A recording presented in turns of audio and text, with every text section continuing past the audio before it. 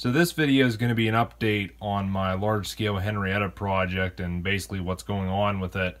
Quite a few people have been asking me when part 3 is going to come out, and I do understand it's literally been almost 7 months now since part 2 was uploaded, but I've kind of hit a roadblock with this project, and I'm currently trying to find either parts or a way to make parts for uh, the next part of this build.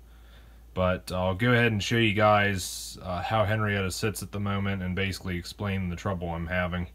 Now, if you've been watching my Henrietta project, you'll know that I finished up building the chassis back in part two. And in part three, I was planning on starting on the balconies. And what I wanted to do was modify these LGB balconies to look similar to the ones Henrietta has in terms of the uh, decorative railings and such. And I'll actually bring in the Ertl model for reference here. You can see how that looks. And I wasn't going for 100% accuracy with the large scale project. I just wanted something that looked close enough. And I looked at companies like Evergreen, uh, Plastruct, I think was another one. Uh, I believe I even checked with Micromark and I just couldn't find anything that had a pattern similar to how Henrietta's balconies look. So I basically started looking into how I could replicate that look with these balconies, and unfortunately, I haven't had any good ideas on how to go about doing that, at least not something that's going to take forever to assemble. But uh, the balconies as they sit right now, uh, the only thing I've done to them is I pulled off these front gates here and I actually don't have those anymore. I sold them and made back some of my money I've been spending on uh, building this model. But uh, I want to keep the opening gates on these and uh, probably some of this uh, detail here I'll go ahead and sand that down because it really doesn't need to be there. But I don't know. That That's my main problem right now is trying to get the decorative railings on these balconies. I just don't know how to go about doing that. Uh, and I can't really find anything that's uh, going to work for what I want to do. One thing I thought about doing was just skipping over the balconies here and moving on to the upper portion of the coach now.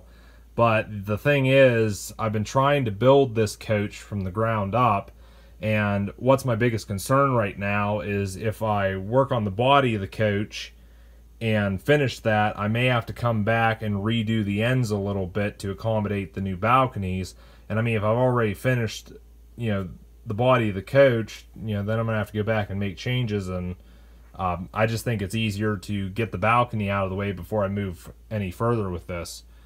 So, you know, I'd like to get those done. But the rest of the coach is pretty much the same as it has been. Uh, the roof is still the same. I've been debating about uh, sanding this down and smoothing it out and making it look more like Henrietta's roof or maybe just uh, make a new roof entirely. Uh, I don't know at the moment. The coach body's been gutted. Uh, it's been gutted since part one. There's nothing in here right now. All that's over here. Um, I'm debating about using these seats though because in the Railway Series, Henrietta's seats were basically ran along the sides of the coach here, and then they were facing inward on both sides. At least that's how it was in the Railway series. And I'm kind of thinking, you know, going that route, just making new seats, and then I'll have these ones to sell and maybe make a little more money. Uh, another thing is I've been looking at how the windows are done, and I'm honestly thinking about cutting out these verticals in the windows and maybe lengthening them out here a little bit as well and just putting completely new window frames in. And that also means I won't be using the window frames that were in the coach or the uh, plastic uh, transparent plastic which that's not here right now. I got that wrapped up so it doesn't get scratched but you know I'm thinking about possibly putting or most likely putting new windows in this. Uh, these doors as well uh, these don't need to have the windows, so I'll probably just end up uh, popping all that out of there, uh, filling this in with styrene, and then, uh, you know, those uh, windows there will be more stuff I can sell and make a little more money. But, uh, yeah, I don't know. I'm kind of getting more involved with this project than I originally planned, but I don't know. Just one of those deals. I'm already cutting corners as it is. I, I think if I wanted to do this project correctly, I should have just started from scratch. So yeah, that's the current status on the Henrietta project. And unfortunately, until I get the little dilemma sorted out with these balconies, uh, I wouldn't expect part three anytime in the near future.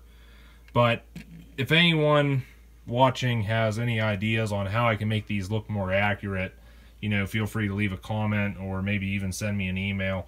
That's part of why I'm doing this video, try to get some feedback from my viewers and maybe they have some ideas because I'm just at a loss right now. But before I wrap things up here, something I did want to mention is I'm going to be showing this Henrietta project along with some of my other large-scale Thomas stuff on Train World's Thomas Tuesday this coming Tuesday. And you can see I've got several things here on the workbench right now that I'm working on to get ready for that. And uh, if you're interested in tuning in, I'll be sure to leave a link to Train World's Facebook and their YouTube channel. Like I said, I'm going to be on there, and uh, hopefully some of you guys can join. But anyways, that's going to be it for this little update on Henrietta. This is how she sits. I haven't really made any progress on the model since part two. But again, you know, if anyone's got any ideas, feel free to let me know.